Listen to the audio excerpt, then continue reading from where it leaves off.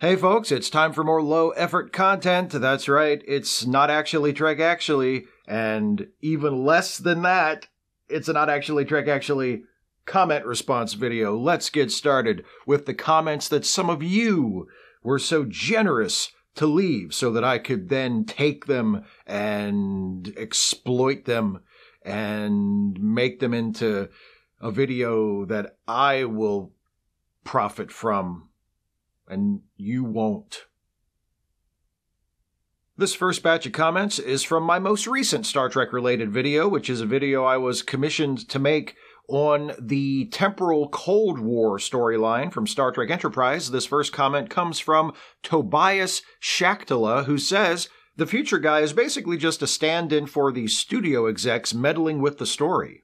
That is a really interesting way to look at it, and it gets even more interesting if you consider the fact that the studio execs who were represented by Future Guy in this interpretation got the last laugh because no sooner had Future Guy been unceremoniously dropped from the show than the show itself was unceremoniously dropped from the network. Checkmate, Star Trek.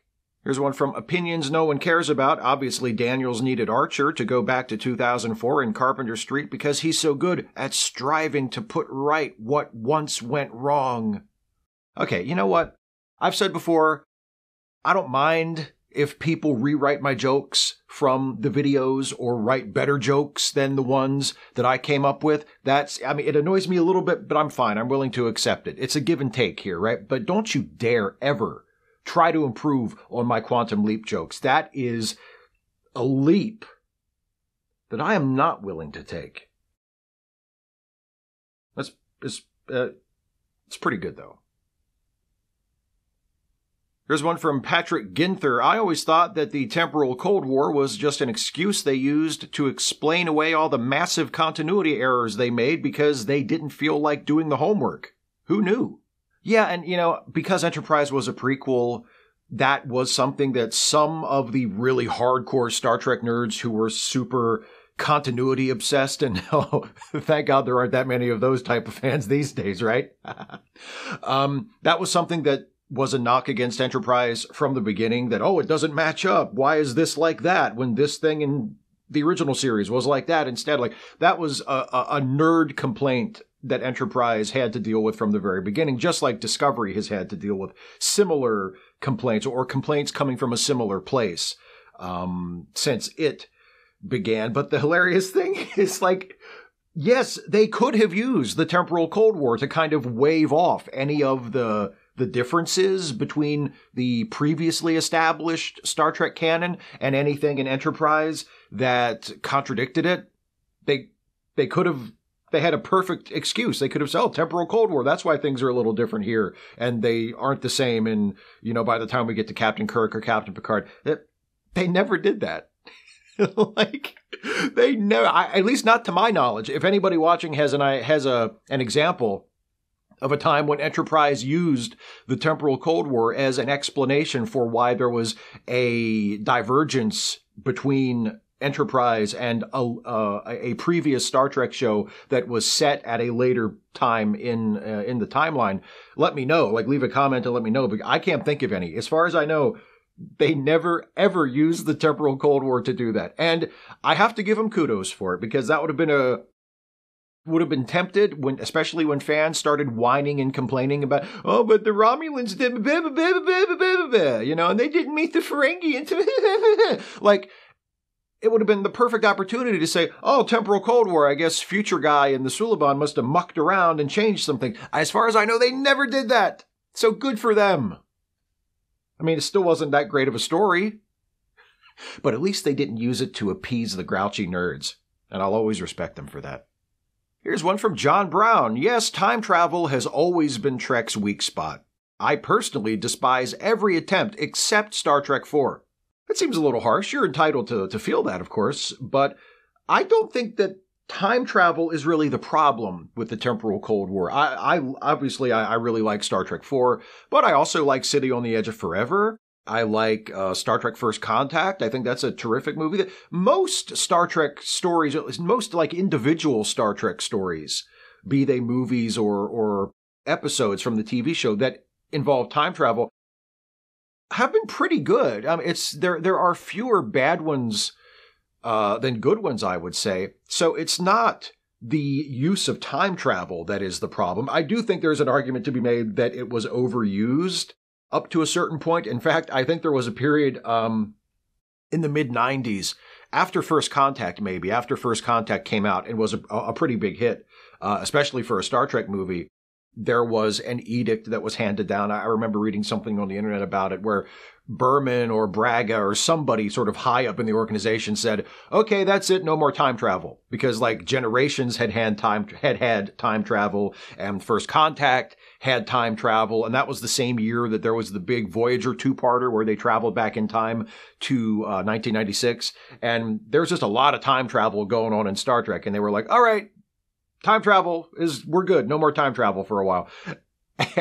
and and then as soon as Voyager's over, the very next Star Trek show has this major subplot that runs through the first three seasons that's all about time travel. So they didn't really stick to their guns on that, you know.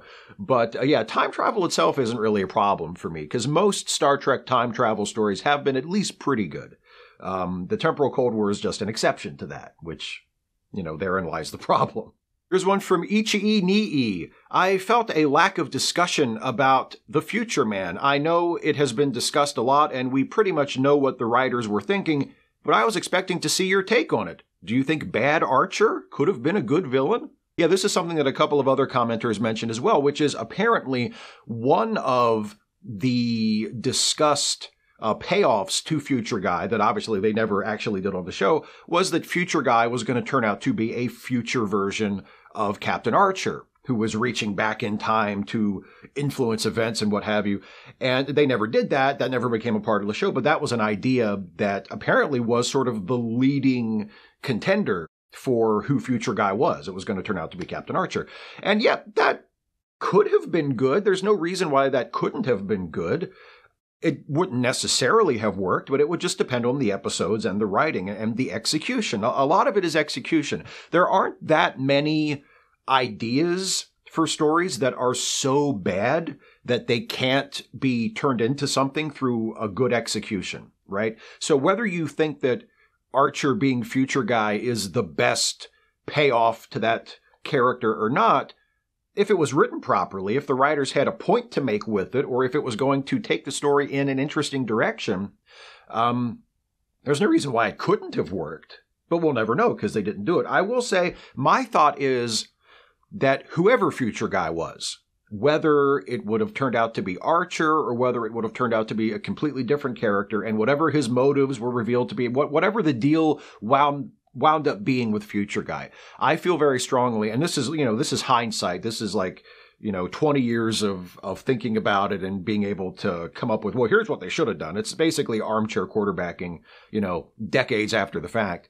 Um, but at this point, I feel like the best move would have been to decide who Future Guy was by the maybe the midway point of the first season, if not before, and pay off that entire storyline and wrap that up by the end of the first year of the show. I don't think that Future Guy or that the Temporal Cold War in general should have carried beyond the first year of the show. I think that should have been the sort of if if they wanted now it would have been better if they had just not done it at all. I think they should have just not done it at all. As I say in the video, I just don't think it really matches the the parts of the series that I think defined it and made it stand out from the rest of the franchise. But assuming they were going to do the temporal Cold War, I think they should have decided who Future Guy was going to be and paid that off and wrapped it up and closed it up and resolved everything by the end of the first season of the show. Like the season finale of season one of Enterprise should have been the end of the temporal Cold War and the resolution, whatever it may be, to the future guy character. And then start fresh, move on, starting in season two with a completely, if you want to do another ongoing, like multi episode subplot, that's great. But just start fresh, do something else. Don't keep carrying on with the temporal Cold War. So that, that is my 20 years too late, uh, suggestion for how to better handle the temporal Cold War. Wrap it up. Pay it all off at the end of the first year. Here's one from Nostalgia Brit. Don't know about anyone else, but for me, the episode Carpenter Street felt a lot like something out of the Time Trax series. Also, regarding the ending of this video, best ending ever. Well, thank you very much for that last part, especially. I actually think the first appearance of Future Guy in one of my videos, where uh, he interacts with the future version of me, is a better ending and is a, a, better little piece of comedy. But I'm glad you enjoyed the the one from last time as well. I thought that was cute. It was I thought it was a nice opportunity to bring my version of Future Guy back and have him do something else. And um, so I'm glad you enjoyed it. And uh, yeah, thank you for the Time Trax reference. I used to love that show, and you're right. If you replace T'Pol with uh, Selma, the holographic computer. I mean, that's basically a Time Trax episode. Like, like, uh, Archer could very easily be Darien Lambert in that story. You know, you just hack off the bit where they're on the Enterprise at the beginning and the end, and the the plot. It's totally a Time Trax plot. It's there's some stuff here in the in the present, or the what is the present for the viewers, um, that is from the future that shouldn't be here. So, so the job of the heroes is to find the stuff from the future. And they even had technology that they could use to tag it so that it would be sent back to the future where it belongs. Now, Darien Lambert had his little, uh, you know, um, car key fob thing that shot little pellets at stuff that would infect it and, and send it back to the future. Um, Archer just had his little things that he could put on it. But uh, same, completely same premise. You know, there's there's people and things from the future that are here in the 20 now the 21st century. With Time Trax, it would have been the 20th century, but are in this era that shouldn't be here, and our hero's job is to send it back. Uh, yeah, so totally very time tracksy vibes. Yeah, it's a shame that uh, Carpenter Street wasn't as good as a typical Time Trax episode. And here's one more comment from the Temporal Cold War video. This is from Daniel Hauk, who says, Okay, now I'm really confused about your stance on continuity. Why do you care about stellar slingshots, transporter accidents, time crystals, etc.? They don't feature in the story they wanted to tell here. I think they're relevant, but I don't agree with your take on continuity, and I'm surprised you do. Yeah, I can, I can see how that comes across as a little inconsistent. I guess what I would say is that, um, first of all, my emotional investment in that argument that I make in the video where I, where I talk about, you know, why is it so important for Future Guy to steal uh, the space Nazis time travel technology so that he can travel back in time when he ought to be able to travel back in time himself using any one of multiple methods that we've seen in other versions of Star Trek. Um, my emotional investment in that is pretty minimal. Like, that doesn't really bother me. That was something that I noticed that I kind of glommed onto because I thought it would make a fun excuse to do a little bit of a rant in the middle of the episode, in the, in the middle of my episode, uh, just a little bit of like a comedy bit. So I'm not like super upset about it. It doesn't really bother me. It has almost nothing to do with why I think Future Guy is not such a great character or why I think the Temporal Cold War is not such a great story. Like for me, it all comes down to, as I was saying earlier, it comes down to execution. I just don't think any of the Temporal Cold War related episodes are all that good. Um, and I don't think Future Guy goes anywhere that interesting. Um, but that ties into the other thing I was going to say by way of uh, an explanation, which is I don't usually notice or care about things like that. Like, you know, well, why can't he just travel back in time using some other method? I don't usually notice that stuff or care about that stuff if I'm engaged by the episode, right? Or I might notice the inconsistency, but it doesn't, but I don't care because it's a good story. So maybe if the Temporal Cold War was a more engaging story, I wouldn't have thought it was worth mentioning. Um, but it's also possible that it's just inconsistent because it's inconsistent, and, and my opinions don't uh, line up and match perfectly and, and aren't perfectly consistent with each other because I'm not a robot. um, or may, or I'm just a huge hypocrite. Like I, e- either one is fine with me, and I'm going to sleep like a baby tonight, probably. Now let's back up a little bit to the video I did back in November about Star Trek and comedy. And this first one on that video is from Darkside1975, who says, Speaking of trials and tribulations, I will forever think it should have been handled by putting Michael Dorn in the TOS Klingon makeup and acting like nothing is out of the ordinary. Multiple people have left this comment or, or have expressed this desire in the comments of this video, and I could not agree more. What a fantastic idea, and what a great missed opportunity for a joke. Like, I, I like the way they handled it in the show, where they at least acknowledge it. They have Bashir and, and Odo, you know, sort of looking back and forth between the the uh, the TOS Klingons and Worf, and they're like, those are Klingons? Like they made a little joke out of it. And Worf basically just waves it off and says, we don't talk about it with outsiders. They're Klingons, but it's a long story. I think that works fine. But yeah, this would have been even better if when they travel back in time, Worf just suddenly doesn't have the forehead ridges anymore and nobody in the episode acknowledges it. Not his crewmates on the Defiant, not anybody on the space station. He, he looks like Michael Dorn made up to look, give him a little Fu Manchu mustache. You know, um, he looks like Michael Dorn as a classic Trek Klingon, and nobody mentions a word about it. And then when they get back to their own time at the end of the episode, he's back to normal looking Worf. That is such a goddamn great idea. That is such a great idea that if I had worked on Deep Space Nine, if I had been like a writer or a producer on Deep Space Nine, and I heard that idea today, I would be furious at myself for not thinking of it and doing it back then. It's such a perfect idea. It's one of the best hypothetical Star Trek jokes that I have ever heard. It's fantastic. This next one is from Patrick Dodds. I love when Trek does comedy and seriousness at the same time. That takes some finesse.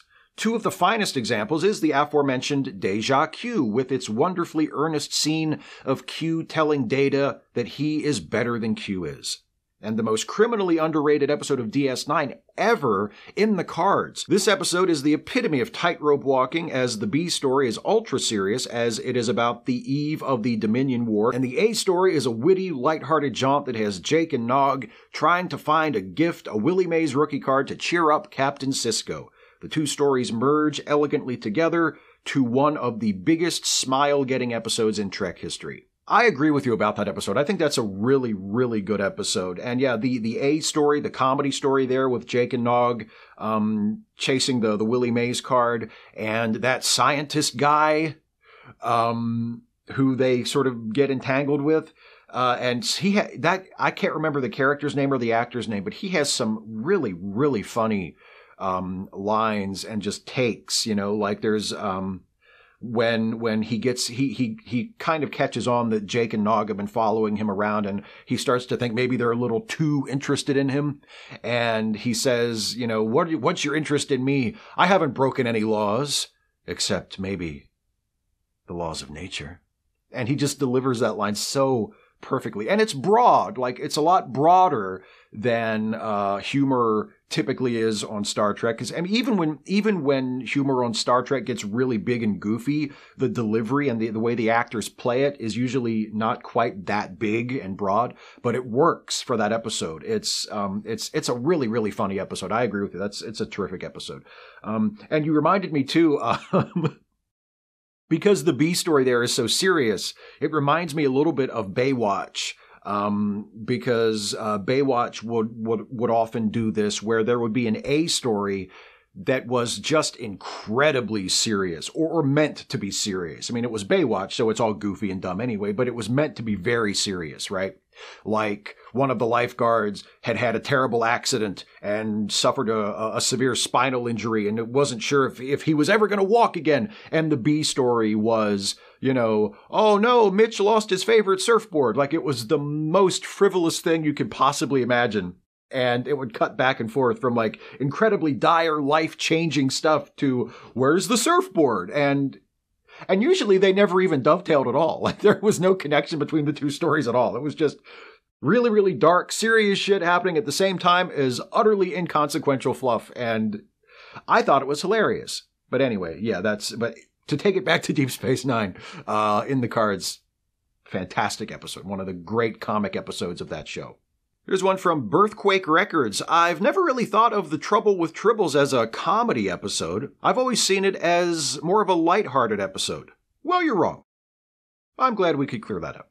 Here's one from So That's Devin Tart. To me, what got me through TOS was the fact that it was so campy, mostly thanks to the wonderful ham that is William Shatner. Watching him take whatever crazy thing the writers come up with seriously just gives the entire show an endearing charm. It feels like I liked TOS a little bit more than you did because I there are certain episodes where I feel like I need something to get me through. Like there are episodes of Classic Trek that are just dire.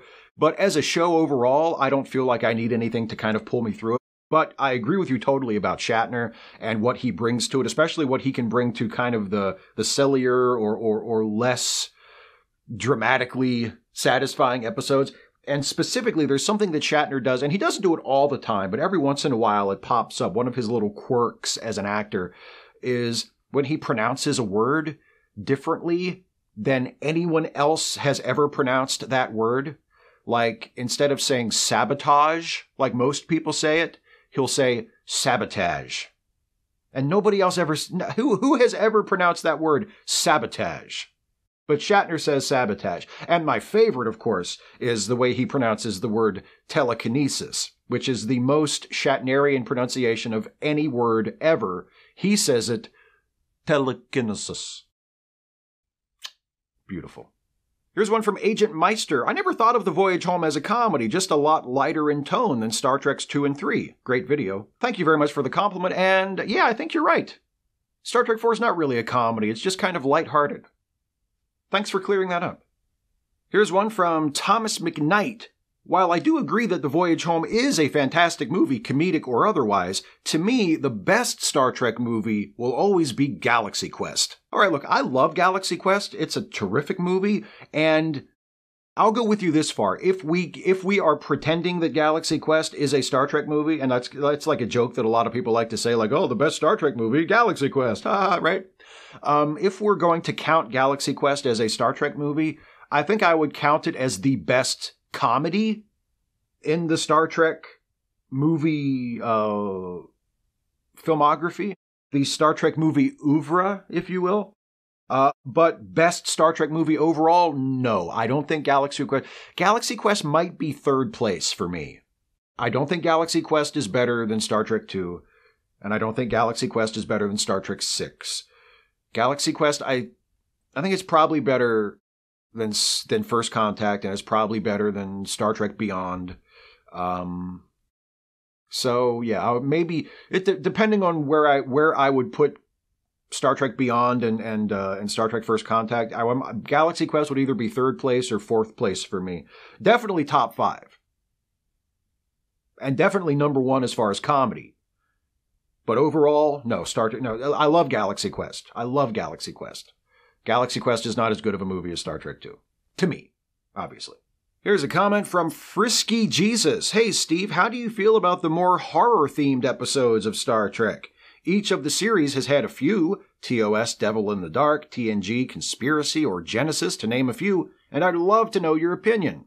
You know, that is a really good idea for a video topic. What I should do is add something like, is Star Trek actually any good at horror or something like that to uh, an upcoming poll for my Patreon patrons and channel members for a future Trek Actually topic. I think, I think maybe I'll do that for the next, uh, the next poll that I put up, like next month. And I don't know, Frisky Jesus, if you happen to be a member or a patron, but if you are, I assume that you will vote for that topic if it comes up in the poll, right?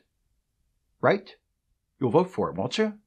You'll vote for it. Don't you sell me out. Don't you fucking sell me out, Frisky Jesus. Now, this next batch of comments comes from my video about Data and the human experiences he may be missing. This first one is from Weatherseed, who says, I'd say of the experiences that Data is lacking, the most important is misplacing his trust in a fart. Even if that experience specifically isn't universal, it is an example of humanity in its purest form, discovering that your body cannot be trusted.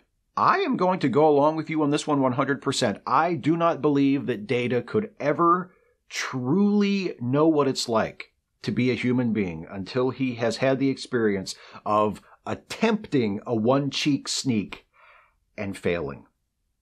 Until he has known that heartbreak he cannot know what it means to be human. Here's a comment from Amy Kitchens. When you compared Data to Pinocchio, I got a nightmare flash of Disney owning the rights to Star Trek, and it was depressing. I'm glad that's one thing Disney doesn't own. Okay, everybody, so Amy just jinxed it. If Disney ever buys Star Trek and ruins it, it is Amy's fault. Thanks, Amy. Here's one from Aline Fitzgerald. Simple solution is a real human volunteers for their life experience, memory and all, to be gifted to data upon their death. He already holds a bunch of journals from the colony he came from. this would also be similar to Picard's experience in Inner Light. Yeah, I think that's one way you could do it. That would be a way of giving data an authentic human experience, but one of the reasons why I didn't make that one of my big suggestions in that video is that I would want Data to have his own unique human experience. Like giving him the memories uh, and the feelings and whatever from a person who had lived their entire life and letting him have those feelings and memories and experiences in his brain. That would be a great way of giving him sort of an up close first person observation of someone else's life. And I'm sure that would give him a lot of insight into human experience that he wouldn't otherwise have had, but it still wouldn't be his experience. So I, I was trying to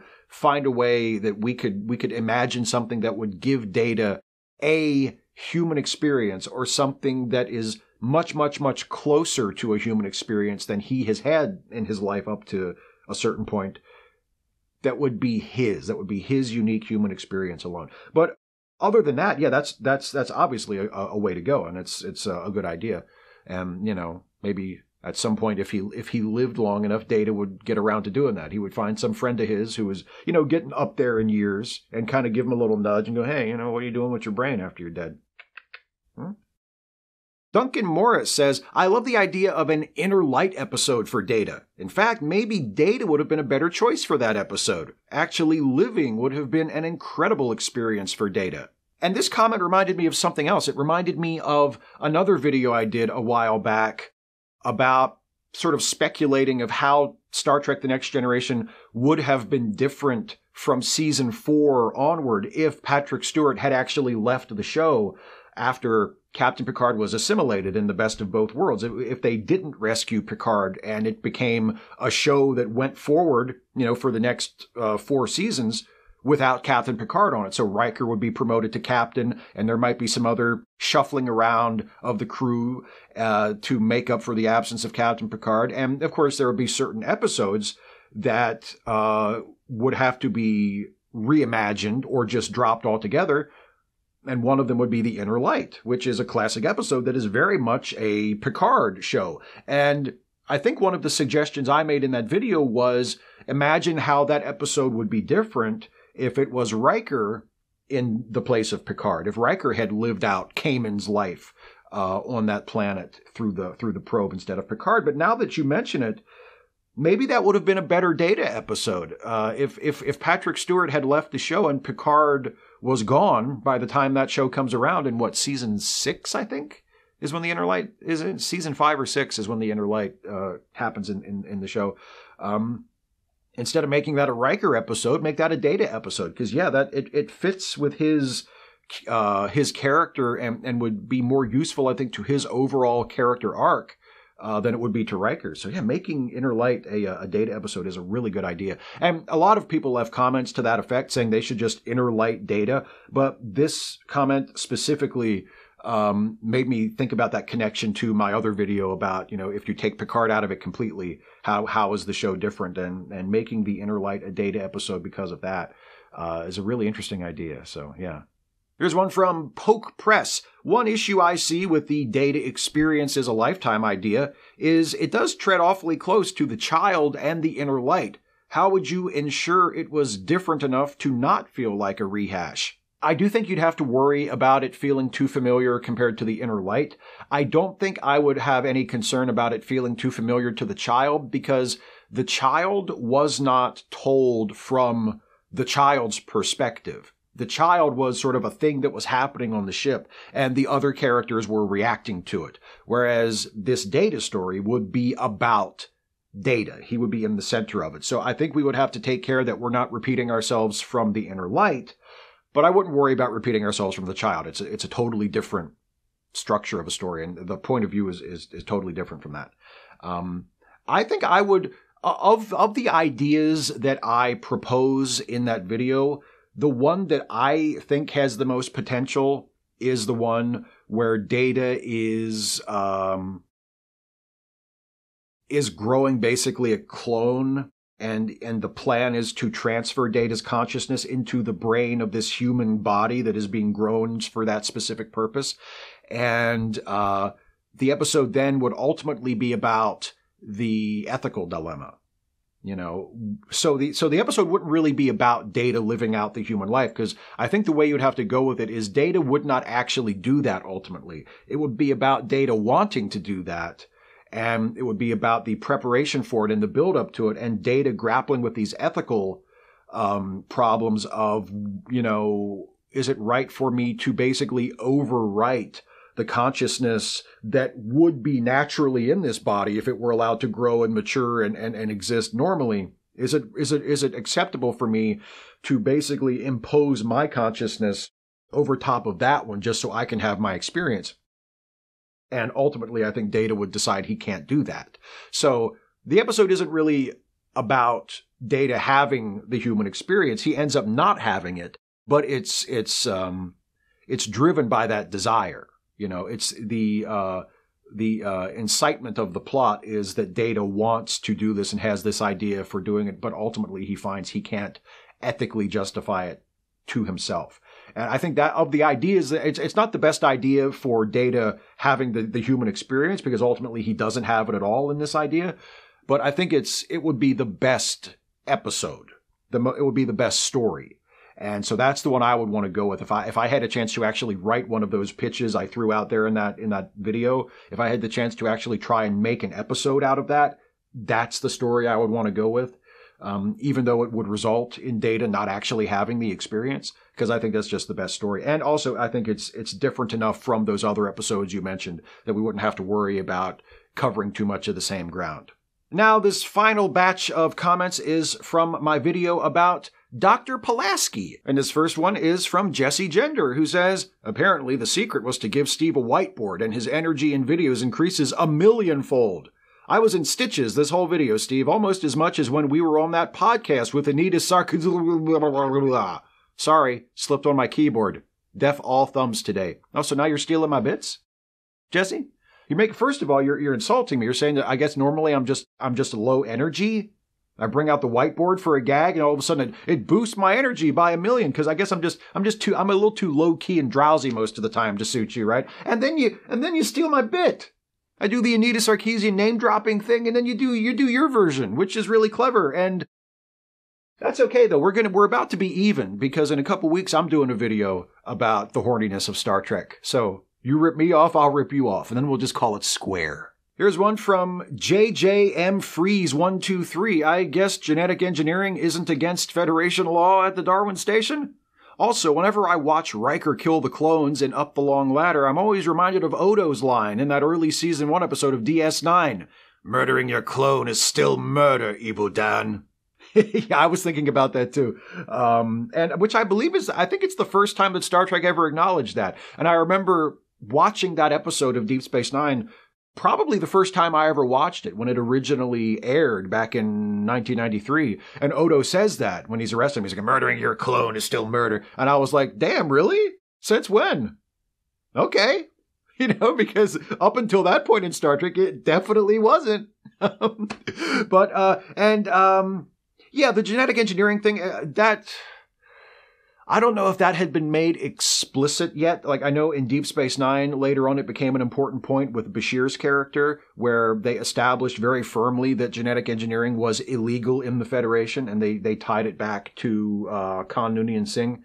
Um, but I don't know if it had been explicitly established by that point. So it's just one of those instances where it was legal at Darwin Station and people maybe looked at it a little sideways and didn't really approve of it as we saw in that episode, but it wasn't illegal because the writers hadn't thought of that yet.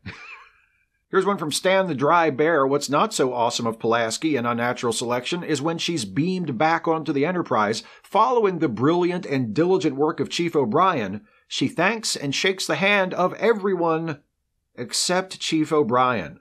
Poor dude never catches a break. Well, she's not going to shake Chief O'Brien's hand anyway. She's an officer and he's non commissioned. He's enlisted personnel. She's not going to get enlisted on her fine officer's hands. Ew.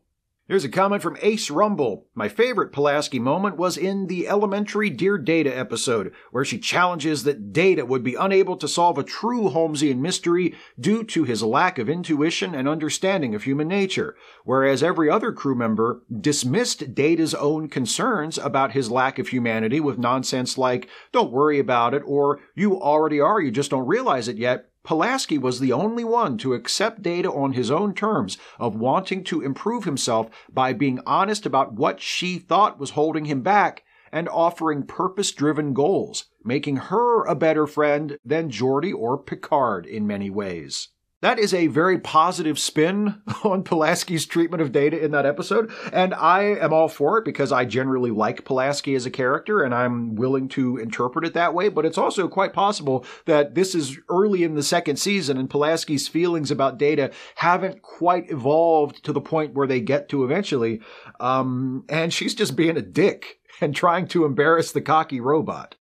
Here's one from Lisa Croxford. I find her robophobia really parallels transphobia. She has big TERF energy. It really struck me on my rewatch last year. This was another very commonly expressed sentiment by people who like Pulaski and people who don't like her and, and can't forgive her for her her early mistreatment of Data. They say that it to them it, it reads very much like uh, how a TERF would treat uh, a trans person. And I have to say that sounds that that sounds about right to me. I, I, that didn't occur to me before. Uh, I guess part of my privilege and, and, and sort of limitation of perspective of just being a cis person, it didn't jump out at me like that. But now that others have pointed it out, yeah, I, I totally see that. And I guess it depends on um, how much you value her her change as a character throughout the the season of the show that she was on, or how much you think she because there were how much you think she changed because there were also a couple of people in comments to that video that said, I don't think she really changed that much, or, or her her character development is kind of you just sort of have to assume that it's taken place because she stops giving data a hard time. And it's not it doesn't really come across as though it's obvious that the writers intended that. It just sort of happens and we assume like well she had a character arc. Maybe she didn't. Maybe the writers just decided to write her differently and and it wasn't character growth. It was just inconsistent writing or the writers just deciding, no, no, we're not doing that anymore. She's different now. Um, but uh, I guess it depends on is it if, you are someone who um, who notices that who reads it as TERF-ish behavior and um, whether or not you're willing to forgive that depends on you know whether or not you think that having her start that way and then end up in a different way a actually happens and b if it does happens if if it's worth having her start out that way given how harmful those attitudes can be to people in the real world. So it's um, it's it's a very personal call there, I think, as to how you respond to that and how you judge her character in, in that light. Um, but yeah, I, I had not noticed that on my own, but a couple of people, more than a couple of people, pointed that out. So I'm very happy to have that pointed out uh, because now that I see it, now that I've had it pointed out for me, it makes perfect sense that that is a way to read Pulaski's character. Here's one from Ewan Smith, another great video, and Ensign's Log is a really fun series too. I just listened to episode 98, A Not So Happy Holiday, in which Steve really gets to show off his dramatic range. Steve's character, Ensign Johnson, has a strong character arc throughout the series where he starts off as an unpleasant, clueless asshole and then grows into an unpleasant, clueless asshole with emotional problems. I find it frequently hilarious. I wanted to share this one because I think this is one of my favorite comments I've ever gotten about the Ensign's log and specifically about my character on the Ensign's log. That I start out, I start out as an unpleasant, clueless asshole, and then I grow into an unpleasant, clueless asshole with emotional problems. That is accurate, I think, and also hilarious, and also places my character from the Ensign's log in a proud literary lineage because correct me if I'm wrong, but I believe that is the exact same character arc of pretty much every dramatic protagonist in Shakespeare. So, and finally, last comment of this bunch, last comment of this video is from Roger Wakefield, who says, Dr. McCoy did get called out once in a very powerful scene by Spock himself in All Our Yesterdays, as Spock is reverting to 5,000 year past Vulcan norms. McCoy, now you listen to me, you pointy eared Vulcan. Spock, I don't like that. I don't think I ever did, and now I'm sure. Loved Nimoy's portrayal of a man who's been pushed too far for too long, who has swallowed all his anger and resentment and can't, won't do it anymore. I had completely forgotten about that scene. When you pointed it out in your comment, I remembered it instantly, and I can hear Spock delivering those lines to McCoy. But for whatever reason, when I was writing that video, um, I, I just blanked on that. I had not remembered that exchange between McCoy and Spock, and I just assumed that McCoy had never been called out explicitly on his racism towards Spock. But that is a great example of that exact thing happening. And I think it's too bad that by the time, because all our yesterdays happens and then uh, the series ends uh, not too long after that, I don't think. Um, and then uh, 10 years go by and we get back, we, we bring the characters back in the movies, and McCoy has apparently not been altered by that exchange with Spock at all. Like he hasn't learned anything. He now knows that Spock doesn't like it because Spock told him so to his face. I don't like when you do that. I've never liked it. And McCoy still does it.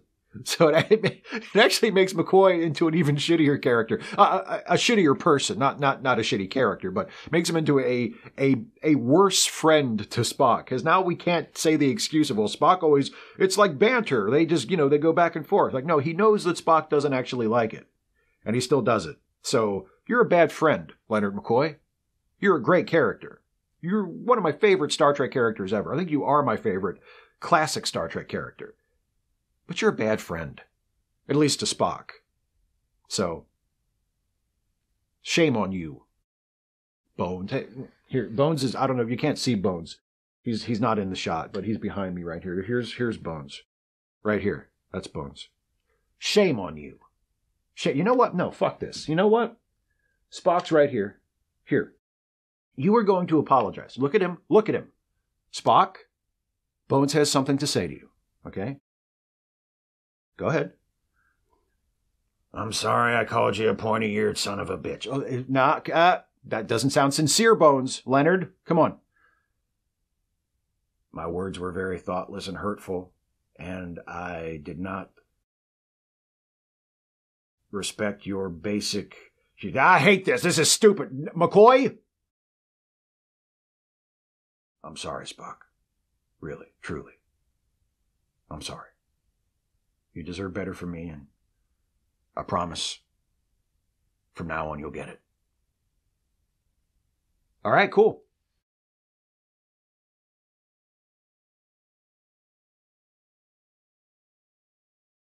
We done? I think we're done patreon.com slash Steve Shives or click the join button if you want to uh, become a channel member. Either way, patron or member, great way to support the channel. $1 or more per month really helps me continue to do what I'm doing here. Uh, $5 a month or more as either a patron or a member gets you a shout out at the end of a Trek Actually video. Membership or patronage at any level and you get to vote in the polls to choose upcoming Trek Actually topics. And also you can submit questions ahead of time for Ask Away, which is every two weeks. Um, you can ask about anything. It doesn't have to be Star Trek stuff. It's uh, ask me anything about anything. Um, don't forget the Ensign's Log, the Star Trek themed comedy podcast uh, that is linked in the description. And also don't forget Trek Reluctantly, the uh, watch along series that I do with Dana, where we watch uh, Star Trek Deep Space Nine. Um, and we watch together. Cue it up on your end, and we'll watch the episode together, and we'll talk over it while we're watching it, which you know possibly enhances the viewing experience. I don't know. We'll see. Anyway, uh, and that's also linked in the description. So that's it, everybody. Thank you all for watching. Thank you so much for the comments. Um, keep them coming. And uh, that's it. See you next time. Bye, everybody.